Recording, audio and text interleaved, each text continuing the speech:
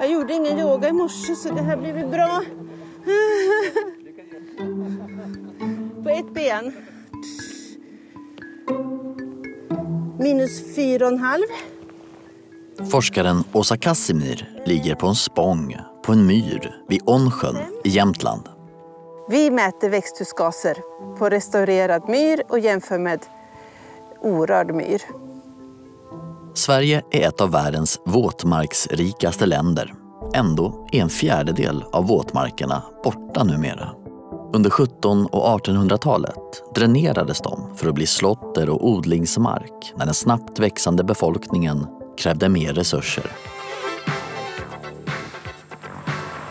Visst kan enbart dikning ge en bra skjuts på skogen.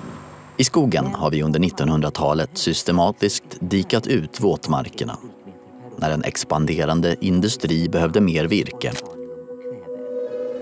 För trots att det skogsdikas ungefär 18 000 hektar varje år Det har ökat andelen skogsmark rejält och det växer bra.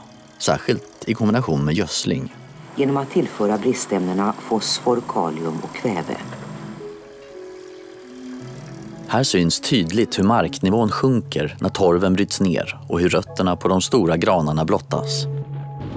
Men det som förut var vår räddning betraktas nu allt mer som ett hot. För när torv är täckt av vatten går nedbrytningen långsamt i den syrefria miljön. Utan vatten däremot förmultnar torven och avger koldioxid. Enligt Åsa Kasimir finns det en lösning. Täppa igen dikena. Man gör marken blötare igen. Den behöver ju inte bli en sjö här utan det räcker med att den blir blöt så att vattnet kommer närmare markytan. Forskarnas åsikter om våtmarkens klimatpåverkan går isär. Man tror att de släpper ifrån sig allt ifrån 2,5 till 10 miljoner ton koldioxid per år i takt med att torven bryts ner. Det övre spannet, 10 miljoner ton, är i så fall lika mycket som hela Sveriges persontrafik. Ofta står det gran på dikad torvmark. Ändå är det inte säkert att skogen måste offras vid en restaurering. Skogen består ju inte bara av gran, det finns ju andra trädslag som man kan välja då det är blötare som al och björk tål ju högre vattennivåer. Ja, det är Smålandsväder. Det blir realistiskt. Håkan och Mats är två av fyra bröder som samäger den här fastigheten. 140 hektar vid gården Brunnshult utanför Alvesta. Det finns lite att göra. Och vi är mycket intresserade av eh, skogsbruk och naturvård. Det är ju det nya ämnet. Det brinner vi för alla fyra. Ja, det vill bevara det här gamla eh, bondelandskapet med öppna ängar, ädellövträd och, eh, och inte bara gran i alla, i alla platser utan mycket löv. Det tycker vi är jättetrevligt. Detta är en dikespropp som vi gjorde då förra året, nej våras var det nog vi gjorde den ja. Och eh, här ser man tydlig skillnad. Här finns vattnet och här är det stopp. Eh, vattnet rinner ut här på mossategen. Eh, sen finns det ju vatten givetvis på andra sidan men det är en stor nivåskillnad. Jag har en liten mätsticka här. Det skiljer ungefär 40 centimeter här nu mellan högvatten och lågvatten. Det är ju så gamla mossodlingar brukar ju växa igen och till slut så är det en storskog här också. Men vi försöker hålla borta granen men vi tänkte lite björk skadar ju inte, det är alltid vackert. Men vi kommer ju glesa ut denna efterhand så det blir mer stora björkar här ut med kanten. Och sen blir det öppen mark här i mitten där vattnet får husera.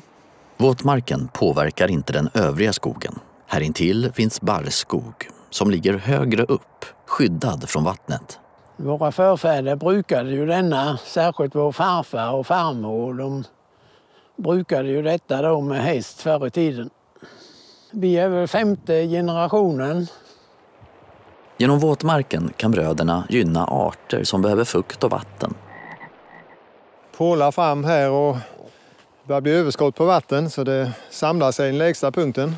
Allt vatten stoppar ju inte men, och det är inte tanken heller utan eh, det ska vara lagom mängd för att hålla ner den här nedbrytningen av kolet som sker i den här mossen utan eh, växthusgas och koldioxid ska inte gå upp i atmosfären. Det är ju mest det är ju för klimatet och miljön och det här ju och vi ville prova.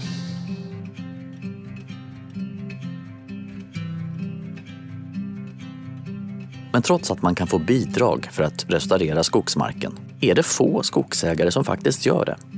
Skogskonsulenten Tobias Eliasson har under de senaste fyra åren, trots utökade stöd, mött få skogsägare som varit intresserade.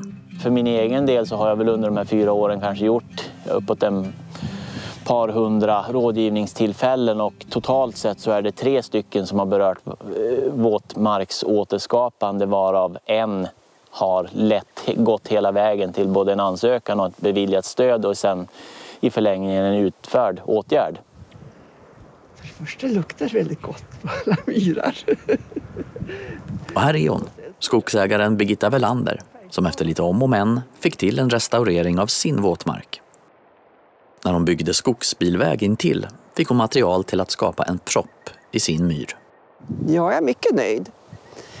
Vattennivån har ju höjts 25 eh, centimeter ungefär, där det 30 kanske, där det är som mest flöde. På Birgittas mark har det bildats vattenspeglar som syns året om. På ungefär en hektar av skogen intill har vattennivån kommit upp, helt enligt plan. Så det enda det var ju administrationen och pappersarbetet som gjorde att det drog ut på tiden. Men jag tänkte att eh, vi ska försöka i alla fall. Och det gick bra. Just all administration som måste till skulle kunna förklara varför så få våtmarker har restaurerats. Det blev ju en överraskning. Jag visste ju att man skulle anmäla till Länsstyrelsen om vattenverksamhet. Men efter det, alla papper som skickas in där och kartor och skisser och foton så vidgar det sig det hela till kommunen också. Det var till exempel nödvändigt att söka strandskyddsdispens fast det är flera eh, kilometer ner till sjön som vattnet rinner ut i. Birgitta fick 15 000 kronor i bidrag för restaureringen där 10 000 försvann i form av administrativa avgifter. Det gick jämnt upp. På ett övergripande plan så, så är det ju en, eh, en ambition att, att eh, jobba med vattenfrågor och liksom återskapa våtmarker. Men sen varje, varje myndighet har ju sina regelverk att förhålla sig till. Och vatten är ju krångligt i och med att det ligger fördelat på, på flera olika parter. Återställning av våtmarker gynnar inte bara klimatet. Många arter som försvann när marken dikades trivs bättre nu. En höjning av vattnet med några decimeter och förändringen är dramatisk. Nästan direkt får det grunda vattnet besök av krickflockar. Även växtligheten blir mer spännande när marken återfuktas. Men ändå, intresset bland skogsägarna för att återställa våtmarker är alltså ganska lågt. Vad krävs för att det ska ta fart? Följ den spännande resan på griponlife.se.